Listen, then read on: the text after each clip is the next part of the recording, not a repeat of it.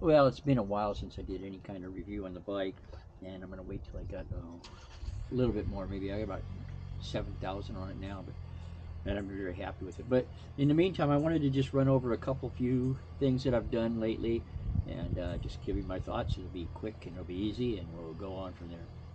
What I'm trying to accomplish here is just to run through a few things and changes I've made to the bike, um, additional things I bought, uh, nothing too serious. Uh, so this is kind of a mishmash. But the most important change I made to the motorcycle, and the one I'm really, really, really pleased with, is the addition of the Tech Cam and the uh, 16 tooth front sprocket and chain to go with that. The Himalayan is a really, really well balanced motorcycle. Uh, brakes could be a little bit stronger, but everything matches. There's a, a, a lot of move to get more power, but I think that people would find they'd have clutch problems and they would have braking problems and etc. And as it is, it's such a tractor that you know you get stuck, you stop on a hill or whatever. You hardly have to worry about inducing wheel spin or controlling the clutch and feathering it in or anything. It just tractors along. It's nothing too exciting, but uh, it makes those areas that give you some trepidation go go actually pretty easy. But what it lacks is the top end. Um, 70, 75 miles an hour. I've done it and I've done it for extended periods of time, but it's uncomfortable. It's wound up um, and it feels buzzy and it feels strained and it probably is. And it really eats fuel uh, rapidly. And eh, when it comes to passing, uh, if you you know you get slowed down, you got somebody going 65 in front of you. It'll do it, but it takes you like all day to hit 83, and that's about the end of it.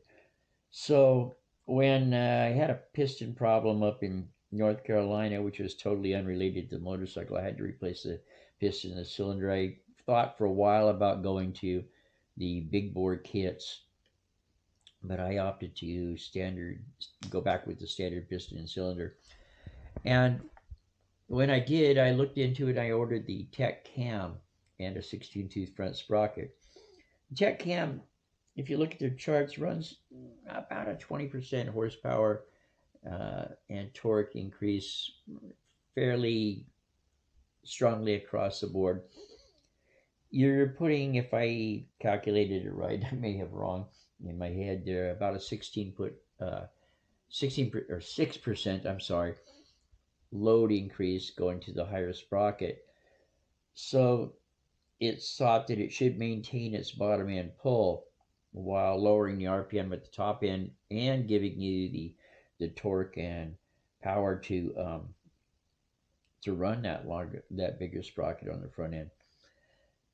And that's exactly what i found the changeover took, uh, well, it was integrated with me changing the cylinder and piston, but I think I could probably change a uh, stock cam to a tech cam in about four hours. Um, and then you're going to change the sprocket and chain. Yeah, probably four, four and a half hours in total. It's not a big deal. I'm running around the country. If somebody wants to do this, let me know. I'll join them. Uh, I got I, hopefully I've got nothing to do in life after a month or so. Anyway, but travel on my Himalayan. But I will say that it, it's done everything that I thought it would. Uh, it pulls well off the line. I do wish I'd known I was going to do this in advance. I would have done, you know, side by side stage comparisons and all of that. But there's no doubt it's it's not lacking any power off the line. But it really shines when you're going 70, 75 miles an hour and it's only turning like 5,400 RPM instead of wound up closer to its, you know, 6,500 RPM red line.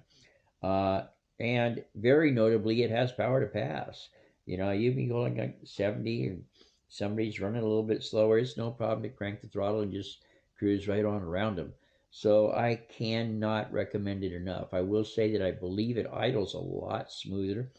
I have not put in the booster plug or opened up the exhaust or the intake or any of that. It's just a strict cam change uh, along with a larger sprocket, and uh, I could not be happier with it. So let's uh, talk about the rest of the items that have been done. I'm going to be packing up everything, selling the house, and moving out. So I'm going to be extensively on the road. So one of the first things I put on this was a little simple two two wire hookup alarm system, but uh, it's got adjustable sensitivity. So you can't even you can't even open one of the cases without setting it off, and it is nasty loud. So I recommend that one strongly. Uh, has this little keyless remote thing turned on and off and we'll take a look at that luggage and storage of course if i'm going to take my whole life on the road is going to be an issue so these wild hearts these were on when i did the review before but i'll say these have really really held up well i know there are like you know $400 versions of these things uh, in this neoprene and folding top and these have stayed dry the bike's fallen on them uh, they've taken all kinds of abuse they clean easily i can't say enough i don't know why why anybody would spend more. I don't remember how much they are. They weren't very much, really. They were sort of the cheapos, but uh, they work great. Solid, easy to mount, and I've had no problem whatsoever with them. And you know, on top of the uh, Wild Heart bags, I had this Rock Brothers waterproof bag. This is a 60 liter bag. I've got all my camping stuff in here. I'm going to review the hammock system later. I'm really pleased with it, but we're going to, that, that deserves a completely separate review. This straps on nicely. It's, you know, it's just sitting here now, but it does go get completely out of your way. Um, and uh, provides a lot of comfort and it's completely waterproof. I've, I've had it in plenty of stormy type conditions now, so it's, it's worked well. Up front, I wanted to add a little room and um, do some battery charging stations and maybe snacks, easily accessible stuff here. Look at these StanSport uh, saddlebags here. This was a set that went up and over. It's supposed to go back in the back, the small saddlebag, but I just cut them, cut them loose and laced them onto here. Um, they seem to fit the bike real well. I put some Coroplast uh, sign material in here to shape them out, and it's. Uh, I think I'm, I'm very happy with that. Also got this little uh, tank bag that I'm not happy with that. I'm not going to put the link up there because I think it's sort of cheaply built and too small. but we'll let that one go. Uh, let's take a look at some of the other stuff we've bought just for the bike and for the trip in general. Even after you get rid of the rotten initial battery in the Himalayan, there's always a chance you'll leave something on or have a hard time starting it and run the battery down. So this little jump box has been a lifesaver. I've had this through several motorcycles now. This will start a car easily, and it's as you can see, it's not very big.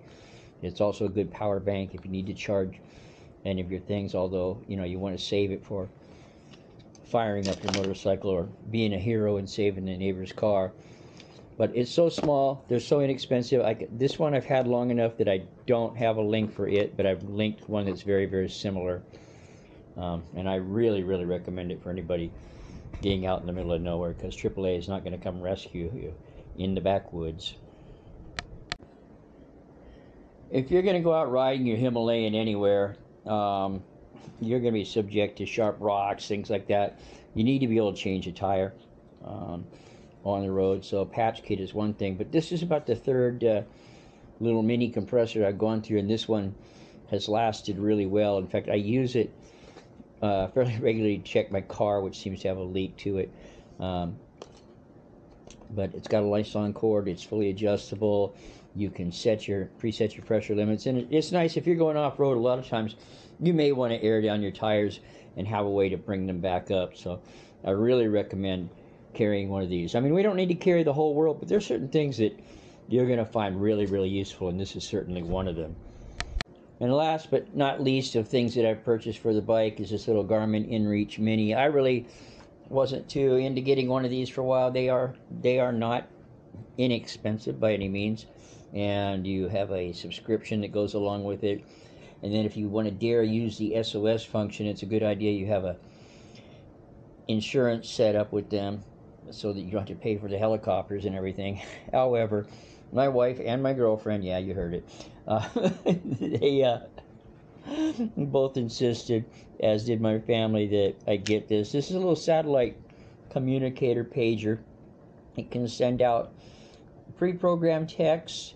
Uh, five of them you can pre-program, and then using your phone you can download new new texts and then send them out.